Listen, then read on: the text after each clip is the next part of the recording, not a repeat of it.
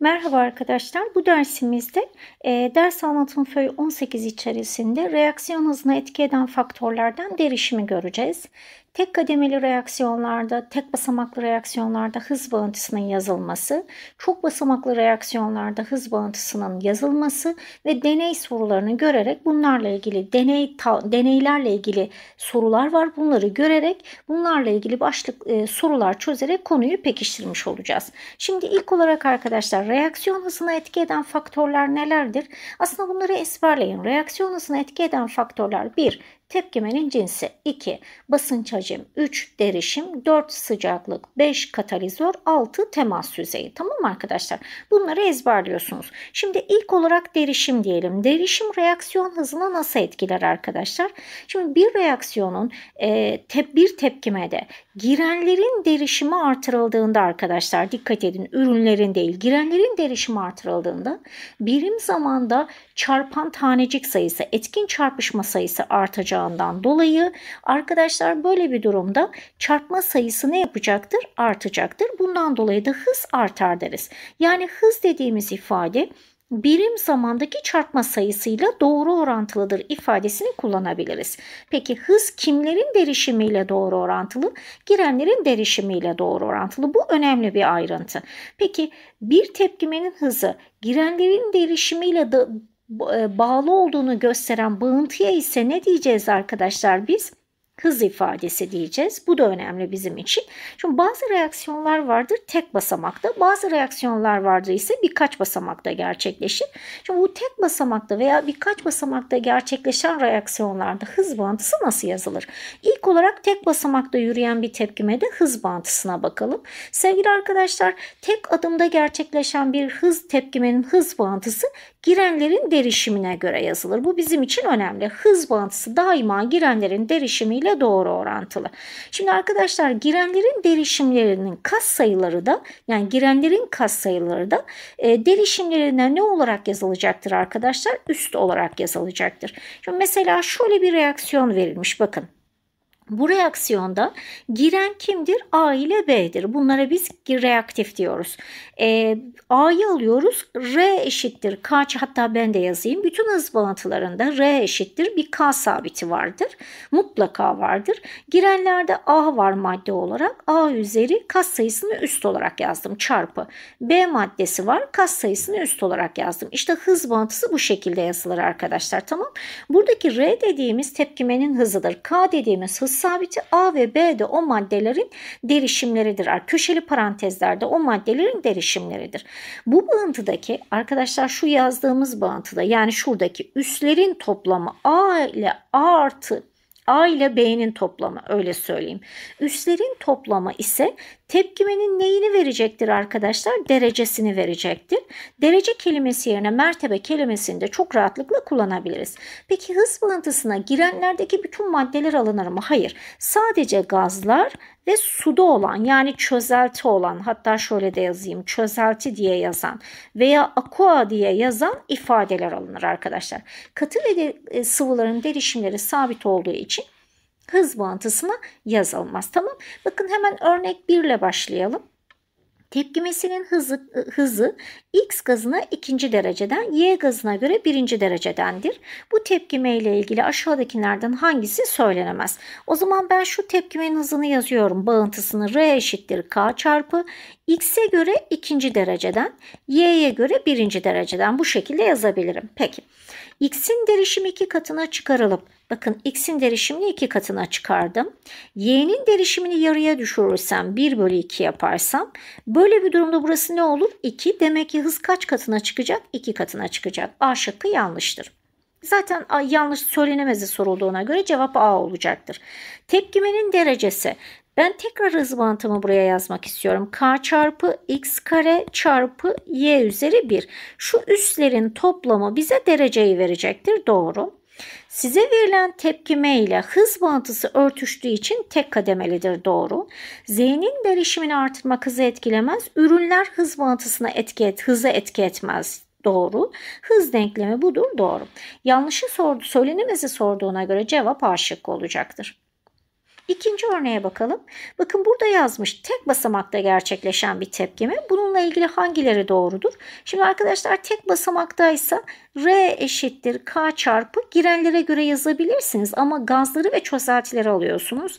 X2'nin derişiminin karesi gaz olduğu için alabilirim ama Y2'yi almıyorum. Neden Y2'yi almıyorum? Çünkü Y2 nedir arkadaşlar bu denklemde? Katıdır. Ondan dolayı almıyorum. Katıların derişimleri sabitti.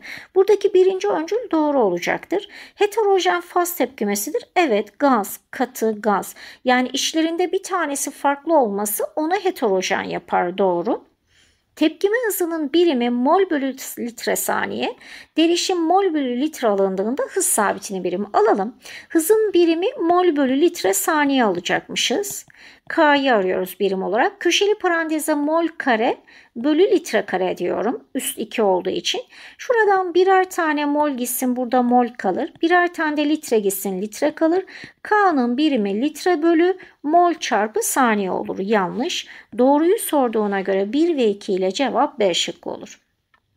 Peki çok kademeli reaksiyonlarda hız bağıntısı. Arkadaşlar bazı reaksiyonlar vardır ki birden fazla kademede gerçekleşir. Birden fazla ger kademede gerçekleşen reaksiyonun bütününe biz ne diyeceğiz arkadaşlar? Tepkime mekanizması diyeceğiz. Tamam mı arkadaşlar? Çok basamaklı. Mesela kömürün yanması iki basamakta gerçekleşir. Peki çok basamaklı tepkimelerde her bir basamağın hızı birbirinden nedir arkadaşlar? Farklıdır. Peki bu çok basamaklı tepkimeler tepkimelerde hız belirleyen basamak her zaman hangi basamaktır arkadaşlar? Yavaş basamaktır. Mesela bu bizim net tepkimemiz. İki basamakta gerçekleşiyor. Birinci ve ikinci basamak. Bu iki basamağı ben taraf tarafa toplarsam net tepkimeyi elde ederim.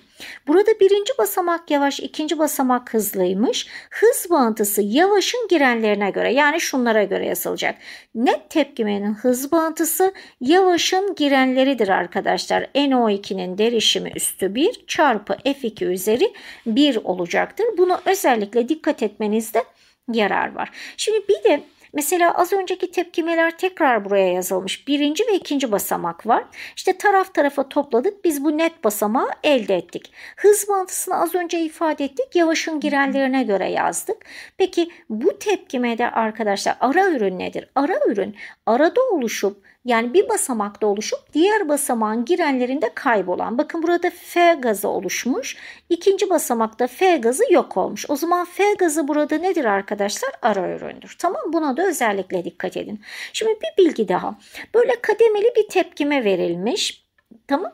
Bu tepkimenin bu sefer kademeleri değil de grafiği verilmiş. Grafikten kaç basamaklı olduğunu görebilirsiniz. Bu birinci basamak, bu ikinci basamak. İki tane tepe nokta olduğuna göre bu tepkime kaç basamaklı olacaktır? İki basamaklıdır arkadaşlar. Tamam. Şimdi buradan e, İki, o zaman bu tepkimede iki tane aktifleşmiş kompleks var. Bir birinci basamağın tepe noktası var. Bir de ikinci basamağın tepe noktası var. Dolayısıyla iki tane aktifleşmiş kompleks noktası bulunmakta. E1 ve E2 olduğundan ha burada da şöyle ifade edeyim. Birinci basamağın eşik enerjisi E1. İkinci basamağın eşik enerjisi E2. E biz daha önceden şunu ifade ettik. Eşik enerjisiyle hız nasıl orantılıdır arkadaşlar? Ters orantılı. Dolayısıyla E1 büyük E2 olduğuna göre o zaman hızları yönüyle R1 küçük R2 olmak zorunda. Yani birinci basamak yavaştır doğru. Hızı belirleyen basamak her zaman yavaş basamaktır. Yani birinci basamak olacaktır doğru arkadaşlar.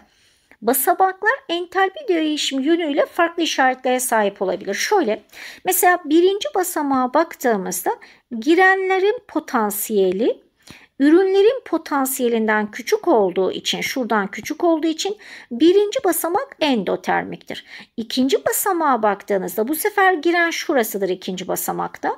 Ürünlerin potansiyelinden büyük olduğu için egzotermiktir. Yani basamaklar endotermik veya egzotermik olabilirler arkadaşlar tamam Şimdi örnek 3'e bakalım beraber. Tepkimesi iki basamakta gerçekleşiyor. Tamam birinci ve ikinci basamaklar verilmiş. Şu yukarıdaki tepkime de net tepkime. Hangisi yanlıştır? Şimdi yavaş olan basamak birinci basamak. Hızları yönüyle eğer kıyaslarsam birinci basamağın arkadaşlar hızı yavaş olduğu için ikinci basamaktan daha küçük. Hızla eşik enerjisi nasıl orantılıdır? Ters orantılıdır. Birinci basamağın eşik enerjisi ikinci basamaktan ne olmak zorunda? Büyük olmak zorunda. Doğru. Arada oluşup yok olan Q burada oluşmuş, burada yok olmuş. Q o zaman nedir? Ara üründür. Hızı belirleyen basamak yavaşın girenleridir. O zaman yavaşın girenlerine göre hız bağıntısı yazılır. Hız bağıntısını belirleyen basamak. R eşittir K çarpı X'in derişimi çarpı Y'nin derişimidir. Doğru. Tepkimenin derecesi hız bağıntısındaki şu üslerin toplamıdır. 1 artı 1'den kaçıncı derecededir? İkinci derecedendir. Doğru. X gazının derişimi iki katına çıkarılırsa, şimdi bakın sadece X gazının derişimini iki katına çıkarıyorsunuz burada. 2 üzeri 1'den o zaman hız iki katına çıkar. Buradaki E şıkkı yanlış olacaktır. Örnek 4'e bakalım beraber. İki basamakta gerçekleşen bir tepkimenin grafiği verilmiş. Hangisi yanlıştır? Şimdi arkadaşlar birinci basamağın ileri aktifleşme enerjisi 2'den büyüktür. Birinci basamağın ileri aktifleşme enerjisi şurası. İkinci basamağın ileri aktifleşme enerjisi şurası.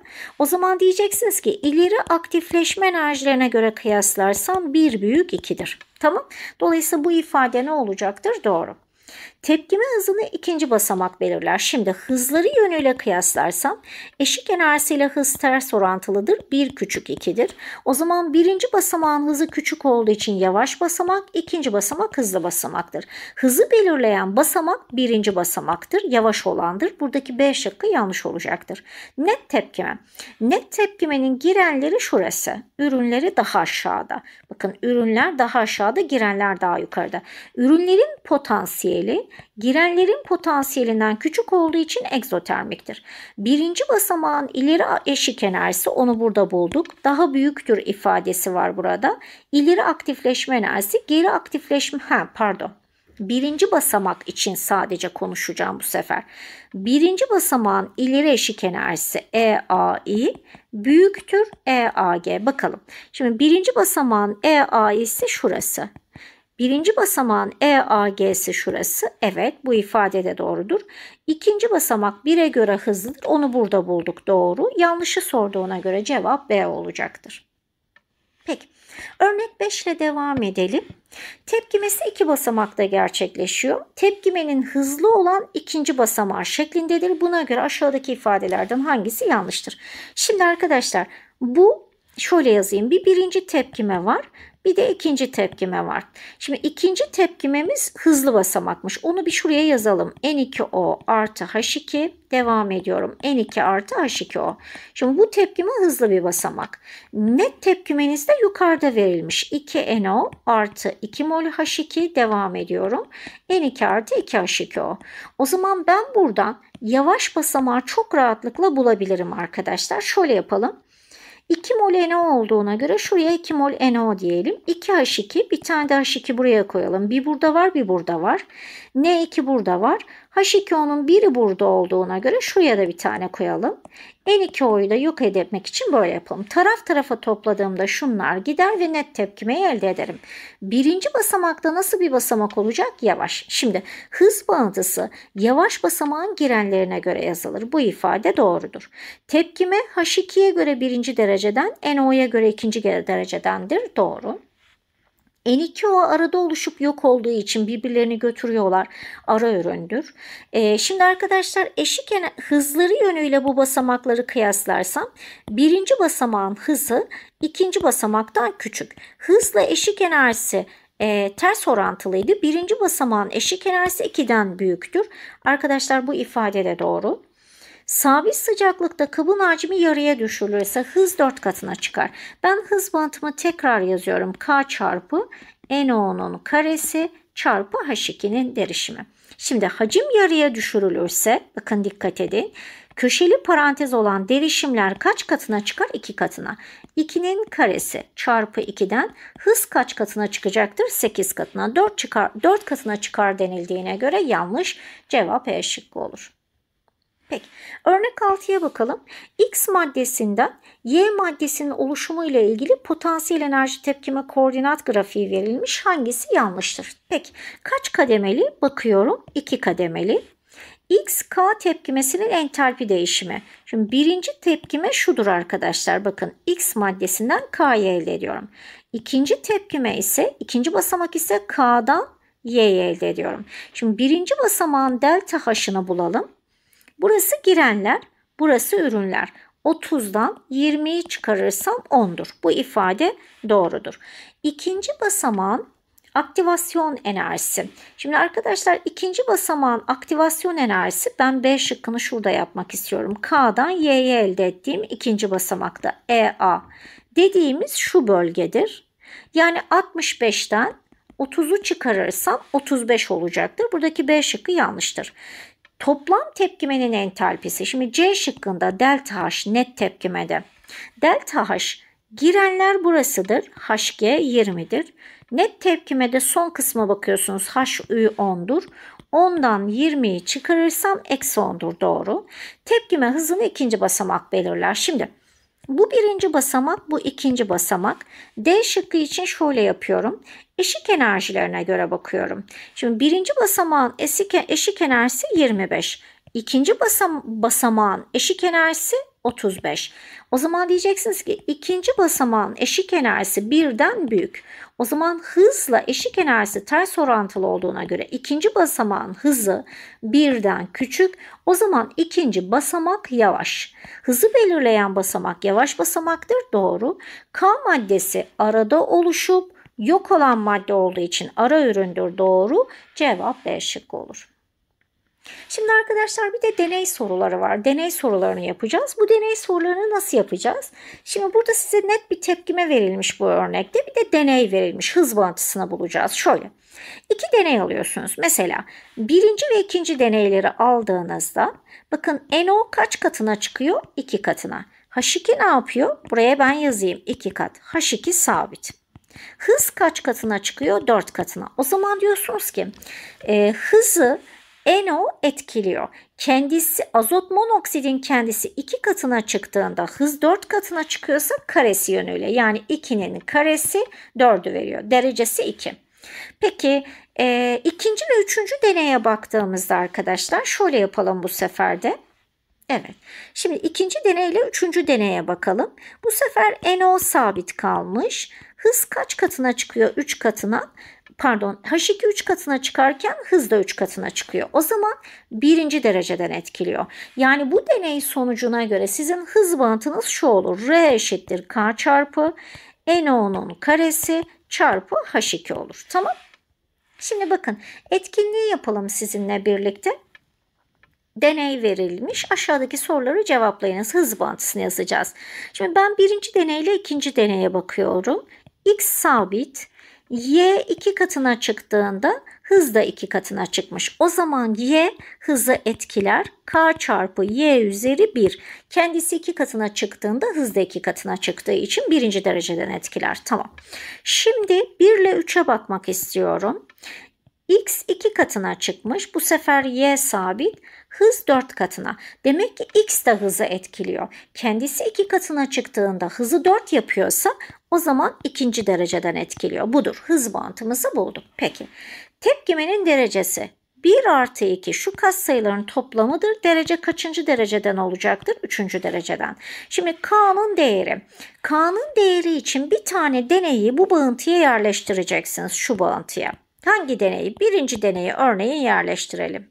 Tamam mı? Şimdi hızımız kaç birinci deneyde? Şöyle bir baktığımızda arkadaşlar 8 çarpı şurada bir şey bakacağım arkadaşlar şöyle. Evet bir dakika hemen bakıyorum. 8 çarpı 10 üzeri eksi 6. Ne kadar küçük yazmışlar. Peki geliyorum buraya. Hızım 8 çarpı 10 üzeri eksi 6. K çarpı y'nin derişimi kaç? 0.02. 0.02 çarpı x'in derişimi kaç? 0.04'ün karesi. Buradan da k'yı hesaplarsak arkadaşlar k dediğimiz ifade e, şöyle olacaktır. Ben şöyle yapayım. 8 çarpı 10 üzeri eksi 6 bölü 32 çarpı 10 üzeri eksi 8 yapar. Bu da 1 bölü 4 yapacaktır. Ee, buradan da baktığımızda pardon şurası da 10 üzeri eksi 8. Burada ne yapacaktır arkadaşlar? 0.25 yapar. Tamam. Peki. Ee, X'in derişimi 0,2, Y'nin derişimi 0,6 alınırsa hız ne olur? Şimdi hız bağıntımız bu ya arkadaşlar. Y çarpı X kare. Artık C şıkkında K'yı buldunuz. Buraya 0,25 yani 1 bölü 4 diyelim. Y'nin derişimi kaç alacakmışız burada? 0,6 alacakmışız. Tamam. X'in derişimi de 0,2'nin karesi. Aldığımız zaman buradan değerimiz 6 çarpı 10 üzeri eksi 3 olarak çıkacaktır. Tamam mı arkadaşlar? Peki. Örnek 7 ile devam edelim arkadaşlar. E, tepkimesi için A ve B'nin farklı başlangıç derişimlerinde elde edilen tepkime başlangıç hızları tabloda verilmiştir. Buna göre tepkimenin hız ifadesi aşağıdakilerden hangisidir? Tamam. Şimdi bakın 2018 AYT'de gelmiş gayet kolay bir soru. Şöyle bakalım. Şimdi biz birinci deneyle ikinci deneye bakalım. A değeri sabit. Şöyle yazayım. B iki katına çıkmış. Hız da kaç katına çıkmış? 2 katına. O zaman hız bağıntısında R eşittir K çarpı B birinci dereceden etkileyecektir. Çünkü kendisi 2 katına çıktığında hızı da 2 katına çıkarıyor. Şimdi 1 ile 3'e bakmak istiyorum arkadaşlar. 1 ile 3'e baktığımda ise A bu sefer 2 katına çıkmış. B sabit kalmış hız kaç katına çıkmış? 4 katına. Şimdi A 2 katına çıktığında hız 4 katına çıkıyorsa A ikinci dereceden etkileyecektir. Yani böyle olur. Dolayısıyla cevabımız E şıkkı olacaktır. Peki 8. örneğe bakalım. E, tepkimesi için belirli bir sıcaklıkta yapılan deney sonuçları verilmiş. Tamam bu tepkime ile ilgili hangileri doğrudur? Şimdi ilk önce hız bağıntısını bulalım. Birinci deney ile ikinci deneye baktığımızda CO sabit kaldığında NO2 iki katına çıktığında hız 4 katına çıkmış. O zaman R eşittir K çarpı NO2'nin derişiminin karesi 2 katına çıktığında hız 4 katına çıkıyor. Şimdi ikinci deneyle üçüncü deneye baktığımda NO2'nin derişimi sabit kaldığında CO'nun derişimi 4 katına çıktığında hız da sabit kalıyor. Bu şu demektir. Siz CO'yu ne kadar artırırsanız artırın hız değişmiyor. O zaman CO hız bağıntısında olmayacak. Hız ifademiz bu olacaktır. Doğru. Hız ifadesi buysa tek basamaklı bir tepkime değildir. Nereden anladık? Çünkü tek basamaklı olsaydı hız bantınız R eşittir K çarpı NO2 çarpı CO olurdu. Yani bunundaki girenlere göre yazılırdı. Ama biz böyle bulduk. Dolayısıyla tek basamaklı değildir. Deneyin yapıldığı sıcaklıktaki hız sabitinin değeri. Şöyle yapalım. Bu hız bağıntısına herhangi bir deneyi mesela birinci deneyi yerleştirelim. Hızımız 2 çarpı 10 üzeri eksi 4 k çarpı NO2 10 üzeri eksi 2. 10 üzeri eksi 2'nin karesi. Buradan k değerimiz kaç çıkacaktır? 2. Doğru. Doğruyu sorduğuna göre 2 ve 3 ile cevap E olur. Dokuzuncu örneğe de bakalım. Tepkimesi için belirli bir sıcaklıkta yapılan deney sonuçları tabloda verilmiş. Tepkimenin hız ifadesi. Şimdi arkadaşlar hangi iki deneyi kıyaslayalım? Ben 1 ile 3'ü kıyaslayacağım. Bakın 1 ile 3'te. A sabit kalmış. Y de sabit kalmış. Şöyle çizeyim. Z yarıya düşmüş. Hız sabit kalmış. Gördünüz mü? 1 ile 3'e baktığımızda. O zaman Z burada etkisiz eleman. İstediğiniz kadar hızını artırın, azaltın. Hıza etkilemiyor. Ben bundan sonra Z'ye bakmayacağım. Şimdi hangi iki deneye bakalım arkadaşlar? 3 ile 4'e bakalım. Bakın X 4 katına çıkmış. Y sabit diyelim buraya. Bu da kaç katına çıkmış? 4 katına. O zaman buradan diyeceğim ki hız x 4 katına çıktığında hız da 4 katına çıktığına göre x'in hız ve etkisi birinci derecedendir. Kendisi 4 katına çıktığında hız da 4 katına çıkıyor. Şimdi ardından hangi iki deneye bakalım arkadaşlar? 1 ile 2'ye bakalım. Bakın 1 ile 2'ye baktığımda da nasıl yapacağım? Şöyle yapıyorum. X kaç? Hatta şöyle diyelim y üzeri a. Bunu bulacağız ya. Şimdi hız kaç katına çıkıyor 1 ile 2'de? 8 katına. 2 üzeri 3 diyorum. K çarpı. X kaç katına çıkıyor? 2 katına. 2 üzeri 1 diyorum. Y kaç katına çıkıyor? 2 katına. 2 üzeri A diyorum. Doğru mu? O zaman şu K'yı görmeyin. 2 üzeri 3 eşittir. 2 üzeri 1 çarpı 2 üzeri A buradan kaç çıkacaktır? 2.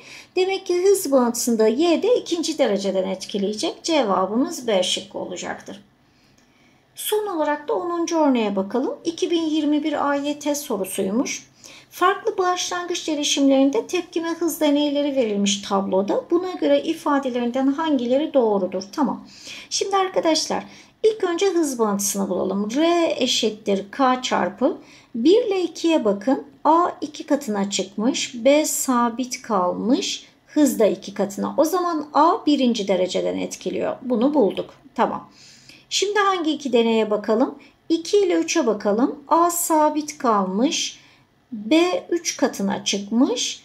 Bu da 3 katına çıkmış. O zaman B de kaçıncı dereceden etkileyecek? Birinci dereceden. O zaman A'ya göre birinci derecedendir. Doğru. Tepkimenin derecesi 3 değildir. 1 artı 1'den kaçıncı dereceden bir tepkimedir? İkinci dereceden yanlış. Hız sabitinin birimi şöyle bulunur. Hız yerine mol bölü litre saniye deyin. K çarpı şu köşeli parantez mol bölü litre. Bu köşeli parantezde mol bölü litre. Buradan giderse arkadaşlar K'nın birimi litre bölü mol çarpı saniye olacaktır. Doğru. 1 ve 2 ile cevap D şıkkı olur.